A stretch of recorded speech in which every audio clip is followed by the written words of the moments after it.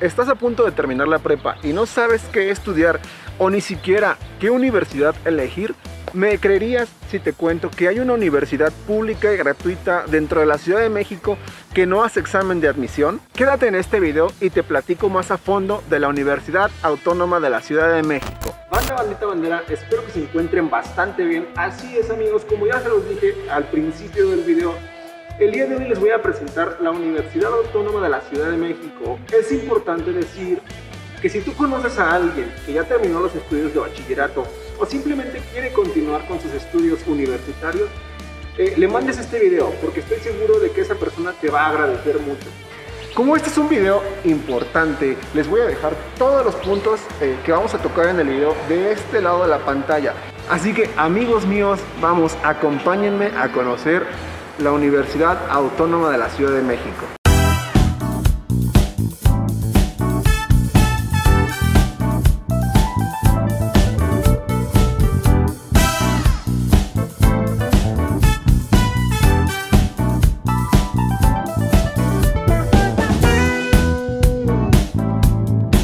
Comencemos con el primer punto que es la introducción. La Universidad de la Ciudad de México fue creada el 26 de abril del 2001 por el gobierno del entonces Distrito Federal, hoy Ciudad de México.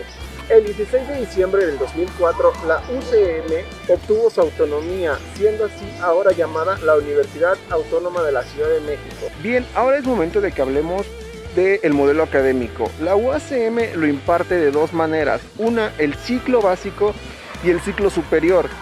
Pero ahorita vamos a platicar más a detalle de eso. Antes de que tú ingreses al ciclo básico, al ciclo superior, vas a pasar o te tienes que integrar al programa de integración, el cual vamos a denominar para que todos entendamos el semestre cero. Eh, ¿Por qué le digo el semestre cero? Bueno, pues es que este semestre no tiene un valor curricular, pero vaya que es sumamente importante. ¿Por qué es importante el programa de integración? Pues bueno, básicamente es una pequeña introducción y una manera de ver y hacer las cosas que más adelante vas a llevar en la universidad.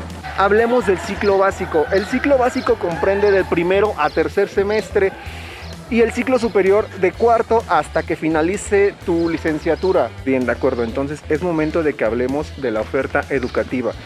Algo que quiero que sepas es que la UACM no trabaja eh, por facultades, ¿sí? trabaja por colegios y cuenta con tres colegios, los cuales son el Colegio de Humanidades y Ciencias Sociales, el Colegio de Ciencias y Humanidades y el Colegio de Ciencia y Tecnología.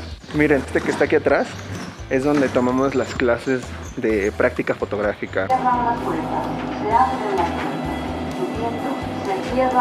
Les voy a platicar las licenciaturas con las que cuenta el Colegio de Humanidades y Ciencias Sociales. Eh, cuenta con ocho licenciaturas, las cuales son Arte y Patrimonio Cultural, Ciencia Política y Administración Urbana, Ciencias Sociales, la licenciatura en la que yo estoy estudiando actualmente, que es eh, comunicación y cultura, creación literaria, filosofía e historia de las ideas, historia y sociedad contemporánea, además de contar con derecho. Además, el Colegio de Humanidades y Ciencias Sociales eh, cuenta con dos maestrías, las cuales son Ciencias Sociales y Derechos Humanos. Ahora hablemos del Colegio de Ciencias y Humanidades. El Colegio de Ciencias y Humanidades cuenta con cinco licenciaturas, las cuales son Promoción a la Salud, eh, Nutrición y Salud, Ciencias y Ambientales y Cambio Climático, así como Protección Civil y Gestión Cultural. También cuenta con maestrías y doctorados en Ciencias de la Complejidad, maestría en Educación Ambiental, y, y nada más. Ahora hablemos del Colegio de Ciencia y Tecnología, donde se encuentran las ingenierías. Eh, bueno, la Universidad Autónoma de la Ciudad de México cuenta con siete ingenierías, las cuales son eh, Ingeniería en Sistemas de Transporte Urbano, Ingeniería en Sistemas Eléctricos, Ingeniería en Sistemas Electrónicos de Comunicación, Ingeniería en Software, Ingeniería en Ciencias Genómicas, Ingeniería en Sistemas Energéticos, e Ingeniería en Modelación Matemática. Por su parte también cuenta con maestrías y doctorados, los cuales son maestría y doctorado en Ciencias Genómicas y maestría y doctorado en Sistemas Energéticos. Tal vez te estés preguntando por qué la universidad eh, se ve muy vacía. ¿No hay alumnos? Claro que los hay, pero en mi caso, que soy del Colegio de Ciencias y Humanidades, no venimos particularmente los miércoles, porque se supone que es un día para que te dediques a hacer tus tareas. Es decir, nada más venimos los lunes, martes, jueves y viernes. Eso es algo algo que debes de considerar, ¿eh? son cuatro días a la semana y lo cual está muy padre. Nosotros nos encontramos en el plantel San Lorenzo Tezonco, pero la Universidad Autónoma de la Ciudad de México cuenta con cinco sedes. Estas son la UACM Casa Libertad, que se encuentra ubicada en Ermita Iztapalapa, en la alcaldía de Iztapalapa. La UACM Centro Histórico, la cual se encuentra en Fray Servando Teresa de Mier, ubicada en el Centro Histórico de la Ciudad de México, en la alcaldía Cuauhtémoc la UACM del Valle, la cual se encuentra en San Lorenzo, 290 en la colonia del Valle Sur, Alcaldía Benito Juárez. La UACM Plantel Cuautepec, ubicada en Avenida La Corona, Colonia Palma, Delegación Gustavo Madero. Y la UACM Plantel San Lorenzo Tezonco, que es donde estamos grabando este video. Eh, este plantel se ubica en la colonia San Lorenzo Tezonco, en la alcaldía Iztapalapa. De todas maneras, las, las, direcciones te las voy a estar dejando en la pantalla. ¿Para qué? Para que tú investigues más a detalle del plantel de tu interés. Ahora hablemos de los requisitos de admisión. Seguramente tendrás eh, dudas de cómo estudiar aquí. ¿Qué necesitas para estudiar aquí? El requisito que debes de cumplir sí o sí es tener tu certificado de nivel eh, media superior. No importa si estudiaste en el bachilleres, en el CONALEP, en el CETIS, en la prepa, no se me ocurren más escuelas por el momento. No importa la escuela en la que hayas estado, siempre y cuando sea de nivel media superior.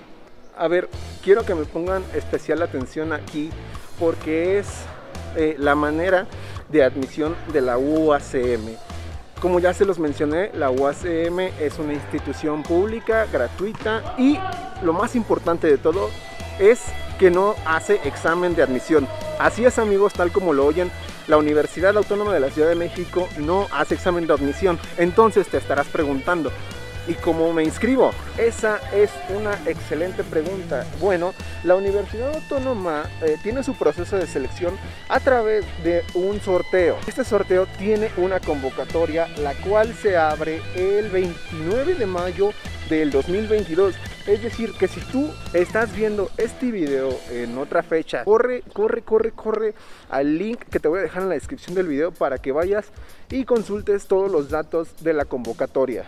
Es importante señalar que para tu proceso de registro debes de tener documentos además de tu certificado necesarios, los cuales son el CURP, tu acta de nacimiento vigente del año, eso es muy importante, sí tiene que ser del año en curso, una identificación con fotografía y algo que se me hace pues bastante chido de la universidad es que si tú te identificas con otro género y quieres que tu registro aparezca con el género y el nombre que tú te identificas, eh, solamente tienes que mandar una carta al registro escolar y tus papeles van a quedar eh, registrados al nombre y género con el que te identificas. Hablemos de mi experiencia junto con algunas dudas que te pueden surgir. ¿Es necesario vivir en la Ciudad de México para estudiar en la UACM?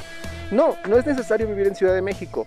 De hecho, yo he compartido clases con, eh, con, compañeros de distintos estados de la República, así como también con compañeros de otros países. También se tiene el, tabú de la edad, ¿no? Déjame decirte que yo he compartido clases también eh, con personas que ya están jubiladas, que ya están retiradas.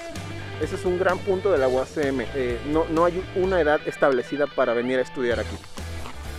Ahora voy a tocar uno de los puntos que más me han gustado de la universidad. Si tú trabajas, eres ama de casa, pero quieres continuar con los estudios, hay una ventaja extremadamente buena para nosotros los estudiantes y es que la universidad antes de que comience el ciclo escolar publica los horarios de todas las materias que se van a impartir en ese ciclo. Lo bueno de esto es que cuando la universidad publica todos los horarios, tú puedes hacer eh, el horario a tu manera. Es decir, la universidad no te otorga un horario, tú lo armas y tú lo registras. Eso te da una libertad de tiempo excelente y es algo que a mí me ha funcionado en los años que he estado aquí. La verdad es que no se me ocurre qué más decirles por el momento. Si tienes alguna duda, déjamela en los comentarios y yo con todo gusto te la contesto.